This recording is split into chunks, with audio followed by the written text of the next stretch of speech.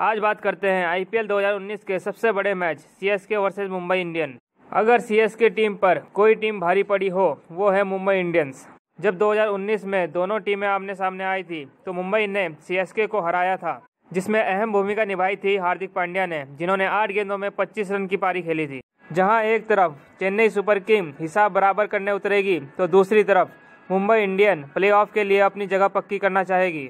तो देखते हैं 26 अप्रैल को कौन सी टीम किस पर भारी पड़ेगी। चलिए एक नज़र डालते हैं आईपीएल 2019 के पॉइंट्स टेबल पर। पॉइंट्स टेबल में सबसे ऊपर है सीएसके, जो 16 पॉइंट के साथ क्वालिफाई कर चुकी है। बाकी दो टीमों में डीसी को एक मैच जीतना है और मुंबई इंडियन को दो मैच जीतने हैं। इसके बाद तीन टीम तो पक्की हो जाएगी, पर लगता है चौथी टीम चौदह पॉइंट के साथ बेहतर रन रेट के साथ आएगी।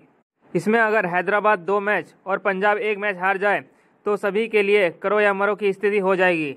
बाकी नीचे की तीन टीमें के राजस्थान और आरसीबी, ग्यारह मैचों के बाद आठ आठ पॉइंट के साथ प्लेऑफ में अपनी उम्मीदें बचाए रखी है। देखते हैं आईपीएल 2019 में प्लेऑफ में किन चार टीमों को जगह मिलती है। मिलते हैं फिर नए वीडियो के साथ। तब तक के लिए टेक केयर।